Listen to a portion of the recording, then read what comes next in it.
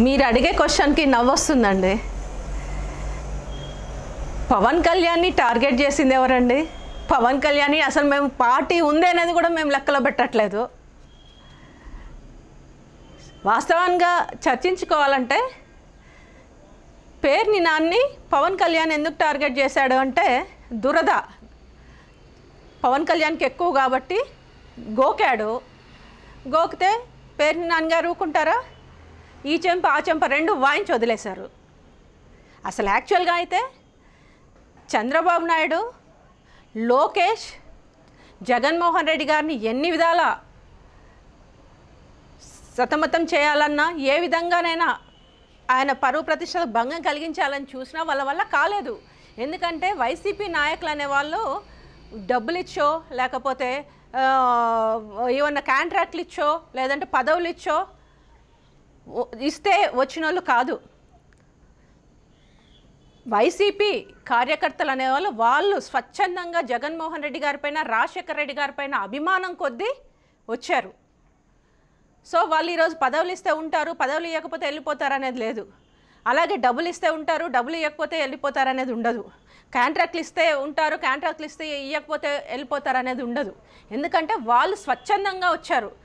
ఆ కుటుంబాల పైన అభిమానంతో వచ్చారు. కాబట్టి ఖచ్చితంగా జగన్మోహన్ రెడ్డి గారిని తిట్టిన ఎవరినైనా వైసీపీ కార్యకర్తలు దుమ్మెత్తి చేస్తారు. అట్లాగే పవన్ కళ్యాణ్ ఈరోజు లోకేష్ కానీ చంద్రబాబు నాయుడు కానీ కార్యకర్తలు వైసీపీ నాయకులు చెడ్ చెడు కూడా ఆడుకున్నారు. ఫుట్బాల్ ఆడినట్టు ఆడితే వాళ్ళ వల్ల కాక ఈరోజు పవన్ కళ్యాణ్ అనే ఒక ఆయుధాన్ని వదిలారు.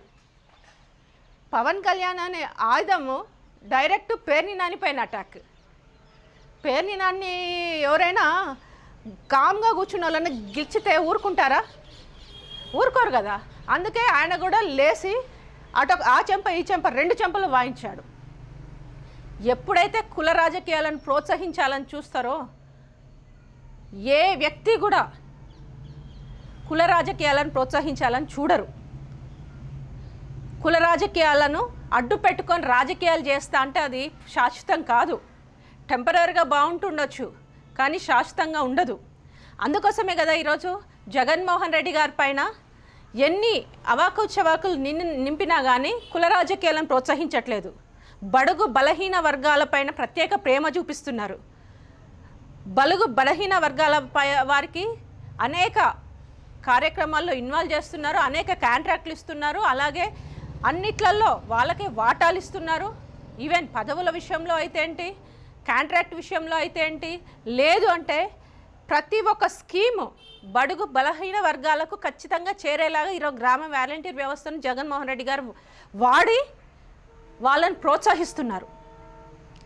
అంతకంటే బెస్ట్ సీఎం ఇంకేం కావాలి? చంద్రబాబు నాయుడు కుల రాజకీయాలు చేయాలన్నారు కాబట్టే చేయాలని ప్రయత్నించినాడు కాబట్టే తొక్కి పాతరేశారు. చంద్రబాబు నాయుడిని. అలాగే పవన్ కళ్యాణ్ కూడా కుల రాజకీయాలు చేయాలని చూస్తే జగన్మోహన్ రెడ్డి గారు కన్ను ఎర్ర చేస్తే మాత్రము పవన్ కళ్యాణ్ అనే వ్యక్తి ఉండడు అది గుర్తుపెట్టుకోవాలి.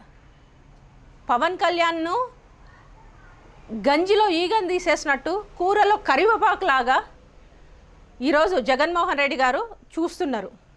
అంటే అసలు ఆయన ఒక వ్యక్తి ఉన్నాడు అనేదే కేర్ చేయట్లేదు. ఆయనకు అసలు ఇంపార్టెన్సే లేదు. కాబట్టి ఈరోజు ఆయన ఎన్ని నాటకాలు ఆడినా కానీ చల్లుతుంది. ఇంకొక విషయం చెప్పాలి ఇక్కడ. జగన్మోహన్ రెడ్డి గారి పరిపాలనా అధ్యక్షుడు పరిపాలన సామర్థ్యంగా చేసుకున్న వ్యక్తి ఆయన పరిపాలన పైన ఫోకస్ పెడుతున్నారు కానీ ఇట్లాంటి చిల్లర రాజకీయాలపైన జగన్మోహన్ రెడ్డి గారు ఫోకస్ పెట్టట్లేదు. అది ప్రతి ఒక్కరు గుర్తుపెట్టుకోవాలి. కుల రాజకీయాలను ప్రోత్సహించే ఏ వ్యక్తి కూడా శాశ్వత రాజకీయాల్లో ఉండరనేది చరిత్ర చెబుతుంది. ఇది రాసి పెట్టుకోవాల్సిన విషయం.